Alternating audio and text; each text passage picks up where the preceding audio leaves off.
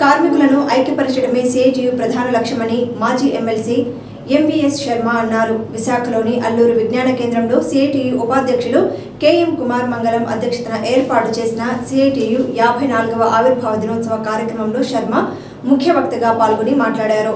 పంతొమ్మిది వందల డెబ్బైవ సంవత్సరంలో సిఐటియు ఏర్పడిందని ఆనాటి నుండి నేటి వరకు కార్మికుల కోసం పోరాడుతూనే ఉందని ఆయన అన్నారు. సిఐటియు ఏర్పడ్డాక కార్మిక ఉద్యమం కొత్త పుంతలు తొక్కిందని దానికి నిదర్శనం. స్టీల్ ప్లాంట్ ప్రైవేటీకరణ ఉద్యమంలో ఎనిమిది వందల ముప్పై రోజులు చేస్తున్న పోరాటమే సాక్ష్యమన్నారు. సిఐటియు జిల్లా ప్రధాన కార్యదర్శి ఆర్కేఎస్వి కుమార్ మాట్లాడారు. సిఐటియు యాభై నాలుగవ వ్యవస్థాపక దినోత్సవం ఈరోజు ఘనంగా విశాఖ జిల్లాలో జరుగుతున్నాయి ముందుగా సిఐటియు జిల్లా కార్యాలయం దగ్గర పతాకావిష్కరణ అనంతరం బైక్ ర్యాలీ అలాగే క్యాబ్ వర్కర్స్ యూనియన్ ఆధ్వర్యంలో బ్లడ్ డొనేషన్ క్యాంపు అలాగే సిఐటియు నాయకులుగా కార్యకర్తలుగా ఉన్న వాళ్ళకి ఒక సిఐటియు విశిష్టతను తెలిపే విధంగా ఒక అవగాహన సదస్సును ఏర్పాటు చేయడం జరిగింది. మిత్రులారా సిఐటియు పంతొమ్మిది వందల డెబ్బైలో ఏర్పడింది. కార్మిక వర్గం ఐక్యత కోసం ఐక్యత పోరాటం నినాదంతో సిఐటి ఏర్పడింది.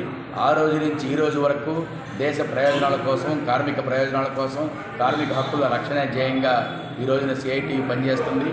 ఈరోజు నరేంద్ర మోడీ అనుసరిస్తున్నటువంటి ఈ ప్రైవేటీకరణ సరళీకరణ విధానాల వల్ల కార్మిక వర్గం తీవ్రంగా నష్టపోతుంది.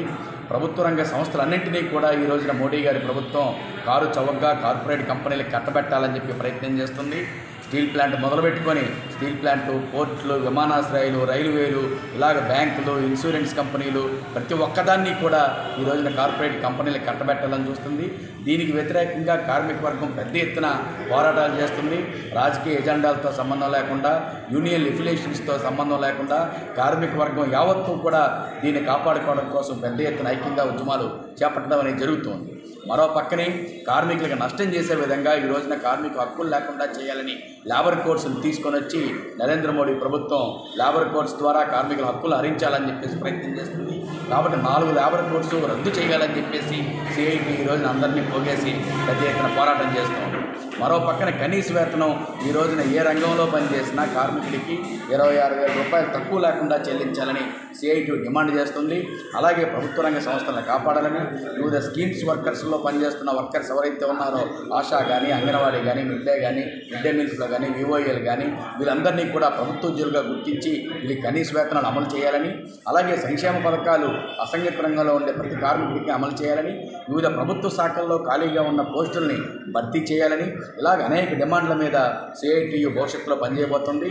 ఈ ఎన్నికల సంవత్సరంలో కార్మిక వర్గం మీద మరిన్ని భారాలు మోపే విధంగా ప్రభుత్వాలు ప్రయత్నం చేస్తూ ఉంటే ఈ భారాలను ఎదుర్కొని పోరాటం చేసే విధంగా సిఐటియు కార్మిక వర్గాన్ని అందరినీ ఐక్యం చేస్తుంది.